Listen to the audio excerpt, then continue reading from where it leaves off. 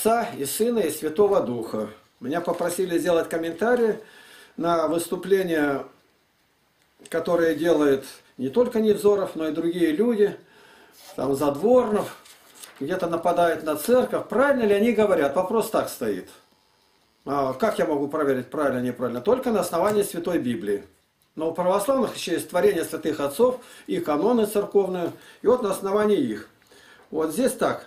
Ответы славянскому интернет-радио голоса Мидгарда. Снова повторяет Невзоров, зачем потребовался миф о гонениях в советское время?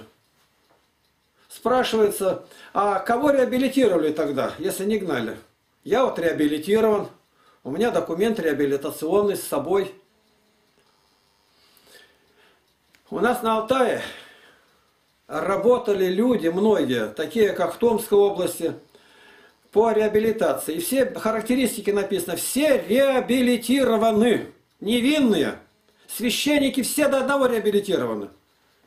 Инкриминируемые им статьи 58 нигде ни разу не подтвердились. Все это знают. Все, кроме Невзорова. Гонений не было. Ну и хорошо, что он так лжет беспардонно. У него последователей, ну, никаких никогда и не будет. Это Господь так делает, посрамляет людей, которые уподобляются дьяволу. Потому что человек лгущий, он подобен сатане. Он есть дьявол лжец, отец лжи. И когда говорит ложь, говорит свое. И вот несколько моментов, которые хотел разобрать я. Псковск. 2000 приходов поддерживали фашизм, пели много лета Гитлеру. А кого они должны были поддерживать? Если они жили в ГУЛАГе, ничего не было. Открыли церкви, народ так и понимал, как освободитель пришел. Это как надо было так себя поставить, чтобы в первые месяцы 4,5 миллиона пленных отдать и всех объявить врагами народа. Пленных всегда жалели. Если Гитлера, которого человека, может, нельзя назвать, сатана настоящий, и они считали таким, за кого можно молиться. Но за Сталина-то не молились, он отвергал это. И советский этот рай они считали ниже того фашистского ада. Значит, тут надо переоценку сделать, а не обвинять. Кто их подтолкнул к этому? Встречались с иконами. Я подумал так, а меня спрашивают, ну откуда это вот у Невзорова такое? Я подумал, что мальчикам, когда вы были с дедом, и вы видели вот этот обман и впитали всю эту ложь, потому что это организация НКВД, КГБ, ФСБ, ну они без этого не могут. У них на лицах такой отпечаток. Вот. Э, было много э, мошенничества, там, говорите о таком, чего даже вообще не знаете. Советская власть не очень была кровожадная. Более кровожадной власти не было на земле. Никогда. Был батька Махно, Махновцев подговаривает, Перекоп штурмует. Штурмовали праздник – и в первую же ночь праздник всех офицеров расстреляли у Махно. Мир не слыхал о таком коварстве и лжи. Во все страны мира везде запустили руку безбожия. Вы из той среды, у меня другая была среда. Отец инвалид войны, жили в бедности, многосемейная, 12 ребятишек в семье. Мы ничего этого не знали. И поэтому мы, не имея Писания, действовали по совести. Помочь ближнему, не обмануть. Вы этого не знали. Нам еще не поздно и встретиться. Ну и дальше опять повторяйте бижутерия, священнические красивые тряпочки. Ну один раз сказали, а дальше это что? Ничего из этого не меняется. Я тоже против того, что людей не учат. Людей надо учить. А учить вначале их они из православия потянулись в секты, потому что увидели, что здесь совершенно не по Евангелию. Вот мысленно сбрейте бороды, оденьте футболки, и будет анекдотичность ощущения – я тоже так говорю. И тогда от всей этой надутости, снобизма ничего не останется. Надо почаще себя таким видеть. Это в романе Емельян Пугачев, когда он в бане моется там и говорит, я царь. А кто моется рядом мужик? Когда мы голые, мы все цари. Вот и все. Был ли выбор, вы спрашиваете? А у Александра Невзорова есть ли выбор быть другим? У православных не было выбора, да, согласны, выбора не было. А у вас? Так ваша вина больше, у вас выбор есть. Или где-то душу продали, или где-то подписку дали. Я не знаю, но по каким-то отдельным моментам уже можно понять, откуда это все идет. Говорите о суворовцах, которого времени дальше пресекалось любое мировоззрение, да. Страна была такая, окруженная штыками, палками, а Святой Руси. Никогда Святой Руси не было. Вы еще об этом не говорите. Была малограмотная, действительно малограмотная, почти неверующая, не знавшая Евангелия пути Господня. Мы получили не евангельскую веру, не евангельскую. И у нас проповедуется не Евангелие, а царство монахов и попов. О чем говорил еще перед революцией Григорий Петров, священник. Книга 8, 6, 9. Как разбойники подстерегают человека, так сборище священников убивает на пути в Сихема, совершает мерзости. Это Библия говорит. Священники убивают сборище их. Вот, ну, рухнула, говорите, репрессивная машина. Да, рухнула. А какое отношение к язычеству? Перед язычеством у вас такие реверансы делаете, прям шляпой по земле бороздите. Спрашивают, это вам язычники, и вы ни одного слова грубого им не говорите. Душа ваша проязыченная насквозь, пропитанная. Ося 5.1. «Слушайте это, священники, и внимайте дом Израилев, и преклоните ухо дом царя, ибо вам будет суд, священники, потому что вы были западней и сетью раскинутою». Пусть священник это выслушает. Россия погибает не из-за невзоров, а из-за священников патриархийных. Они везде сегодня, как он говорит, запустили лапу волосатую, везде. Везде в цензоры лезет, что слушать, что не слушать. Их никто не ставил, ни должности такой еще нету нигде. Вот везде абсолютно. А нас снятый фильм, вот, допустим, «Предчувствие», занявший первое место на международном киноконкурсе, показали в кинотеатре «Мир». Договорились, приехал режиссер, поставить его здесь. Фильм был еще такой «Второе крещение Руси» или «Глаз вопиющего». Это тоже про меня фильм, третий. Полностью про мою биографию. И вдруг говорят, что фильм не будет показан. Я говорю, почему? А уполномоченный по религиозным культам сказал, что этот фильм не нужен.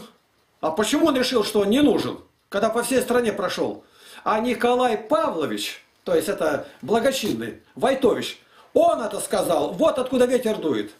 Так что мирских властей-то еще не так будет винить. Вины больше на том, кто предает меня, говорит Христос, а предавали попы в первую очередь. Это меня лично коснулось. На меня два Михаила выходят свидетели.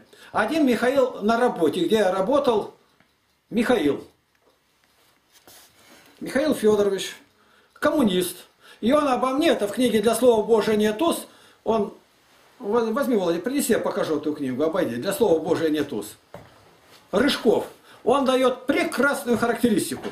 Я там только работал. Игнатий Лапкин, он беседовал со всеми, он не делал различия между коммунистами и коммунистами. И когда ремонтировали базу, все оставалось целым. Самая маленькая полбаночки краски они возвращали. Ну, то есть очень хорошую, ну, хорошую для тюрьмы. Дает мне биографию. Выступает священник отец Михаил Скачков, вот который говорил, Игнатий ждет мессию с Запада. Он мне такую характеристику пишет – что даже в тюрьму не примут. Тоже Михаил. А Михаил переводится с еврейского «никто как Бог». Другого перевода нет. И думай, в ком Бог? Александр – защитник. Вот будьте защитником, а не распространителем лжи. 99% священников не обладает талантами. Я верю, но только не потому, что они не умные, а потому, что они приглядываются, что пропустят архиерей, что не пропустит. Ни один священник, ни один архиерей патриарха Кирилла не обличили ни разу, ни патриарха Алексея. Они все трусливые. За твердое свое место, за эту кормушку вцепились, и ни один не сдвинется. И Бог не может давать таланты тем, кто отрезает. Вот это можно сказать, это нет. Верующий говорит все, что есть. Так говорит Господь. И на этом все. Вот они, два перста, ее везут, и она не, не сдвинется с места никуда. Это ее вера. Это ее девиз. Это ее мандат, с чем она явится на суде Божьем. Вот вы сидели, я так подумал, сидели с дедушкой. Там смотрели, как дедушка ваш уродовал души, э, сотрудник КГБ, брал попов, которые тряслись. Это понятно. Но главное-то виновник кто? Ваш дедушка. А вы рядом сидели. А я был в это время на поле, я сын пастуха. Я занимался, изучал растения, молился, птицами, орнитология. Я первую книгу, которую наловил сусликов, сдал, купил, кажется, 560 страниц была книга про птиц. Я по тени, по э, следам мог определить птиц, которых даже никогда не видал. А вы определяли другое. Вам дано. Вы со мной не спорьте, а я с вами не спорю. Вы больше знаете, может быть, ту среду. Когда меня судили, судили за то, что были обличения священников, то диакон Сергей Бордин в Красноярске написал, «Счастье ваше, попы, что Игнатий не знает, что в алтаре делается. Он говорит только о том, что внутри храма делается. Это предательство какое. Да, действительно, э, все бездны безумия, мы даже не знаем, что там делается. Но надо молиться, выхода-то никакого нет.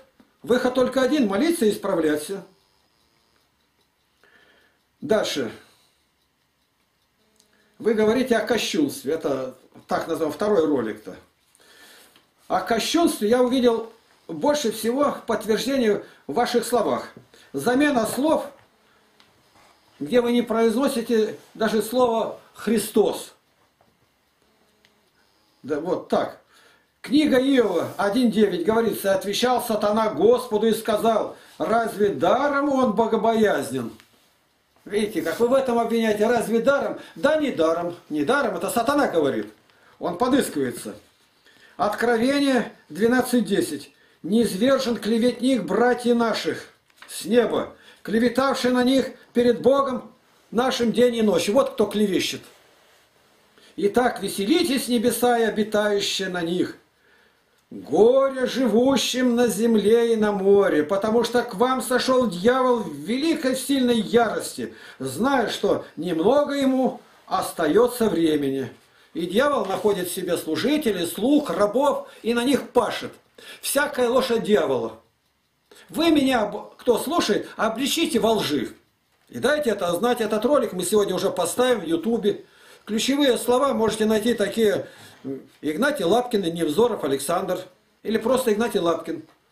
Там 950 этих роликов. Я хочу всех призвать, не верьте Невзорову Александру, где он говорит неправду. А я выявляю, где говорит неправду и где правду. Правда его там, где говорит он о положении в церкви.